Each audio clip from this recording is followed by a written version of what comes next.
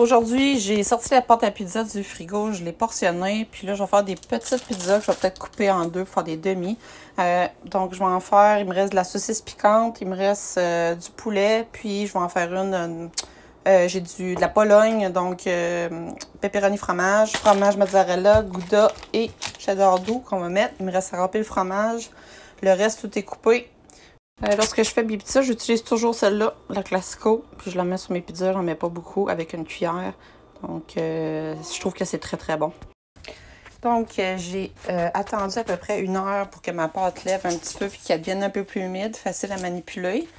j'ai fait des petites pizzas super minces, comme vous pouvez voir. C'est à peu près même pas 6 pouces, mais je les ai faites allonger pour qu'ils rentrent dans ma plaque ici.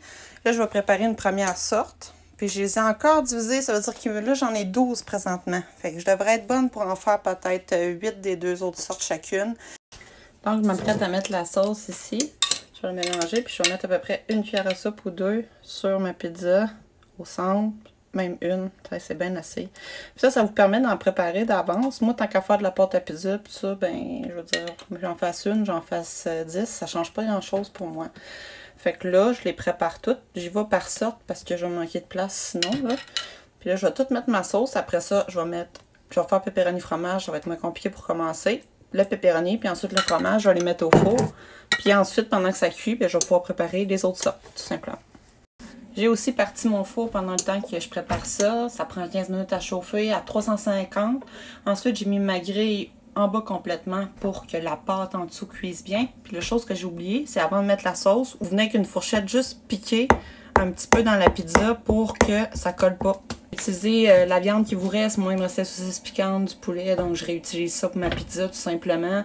Euh, du fromage râpé, il faut en avoir. Euh, ça revient vraiment pas cher la pizza. La pâte, ça coûte rien. Le fromage, ben vous l'achetez en spécial, vous pouvez le congeler.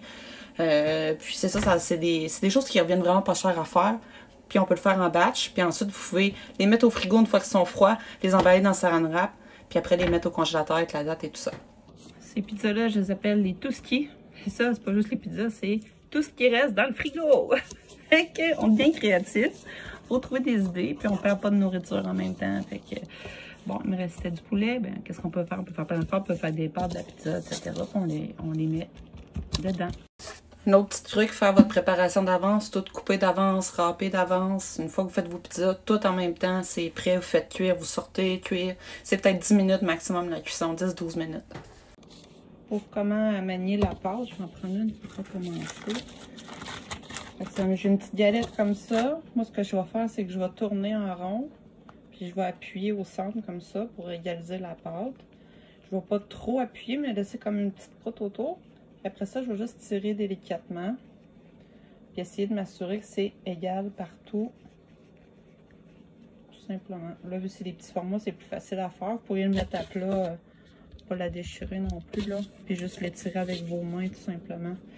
Donc, je viens de compléter les premières pizzas. Donc, le pepperoni, j'en ai manqué.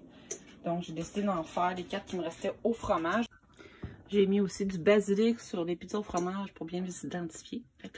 Ça fait exactement 9 minutes. On le voit déjà que la pâte commence à croûter un petit peu doré. Là, là c'est le bon moment. Le fromage crépite, tout est cuit. On les sort. On les fait pas trop cuire parce que on va faire cuire. Fait qu'ils sont pré-cuits. Hein. Fait quand je vais les sortir, je vais mettre ceux-là. Puis je vais faire ma rotation pendant que je prépare mes autres pizzas. Moi, ce que j'aime faire, là, c'est vraiment y aller avec euh, les mitaines, mais euh, pour ça, je mets du papier parchemin. Je vais le mettre directement sur ma table. Ça va refroidir. Puis, je peux utiliser ma plaque. Même si elle est chaude, là, je vais pouvoir commencer à préparer mes autres pizzas dessus. Ça va être prêt. Quand ça, ça va sortir, je vais mettre ça. Fait que c'est être efficace. C'est exactement 10 minutes par pizza pour le format que vous voyez. On a les siciliennes piquantes sont en train de cuire. Super bonne. Je viens de goûter. Fromage, trop fromage avec euh, basilic. Puis sauce tomate, tout simplement. C'est vraiment très bon. Euh, ça paraît c'est frais puis c'est fait maison.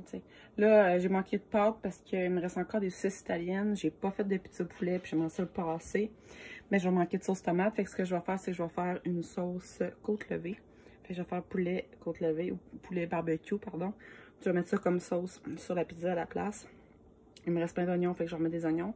Fait que je vais faire ma pâte ce soir, je vais la laisser lever pendant la nuit, puis demain, je vais pouvoir la portionner puis faire le reste des pizzas qui restent. Honnêtement, ça m'a pas pris de temps, là. C'est 10 minutes par plaque. Fait que du moment que c'était prêt, je remettais mon autre, puis euh, ça va bien, bien contente. Puis là, je peux toutes les empiler dans le frigidaire, attendre qu'ils durcissent avec le papier parchemin un par-dessus l'autre. Puis demain, je vais pouvoir les emballer individuellement avec du saran wrap, fait que ça va être euh, facile à emballer. C'est pour ça que j'ai pas fait des trop grosses, là, parce que j'ai pas de contenant pour chacun, fait qu'avec du papier saran wrap, ça va faire la job. Fait que euh, je vous montre la suite demain. Bye! Bon, ça, c'est mes belles pizzas sorties du four, euh, pas du four, du frigidaire. Euh, je vous dis ce que j'ai mis, j'avais oublié de le mentionner. Donc, euh, sauce tomate que je vous ai montré, la pâte. Ensuite, les saucisses, j'en ai mis quatre, des oignons, des poivrons rouges. Et j'ai terminé en mettant de l'orient. Donc, pour celle qui est sicilienne, celle au fromage, juste du fromage, la sauce aux tomates, puis du basilic dessus. Puis on a pepperoni fromage, c'est plus bologne, mais quand même, sauce tomate, fromage, bologne. Je vais m'apprêter à faire celle au poulet aujourd'hui. Donc, mes pâtes sont déjà prêtes. Je viens de faire ça. Puis là, eux autres, je vais les emballer pour pouvoir mieux les ranger. Puis je vais réutiliser ma plaque ici pour faire cuire ce qui me reste de pizza.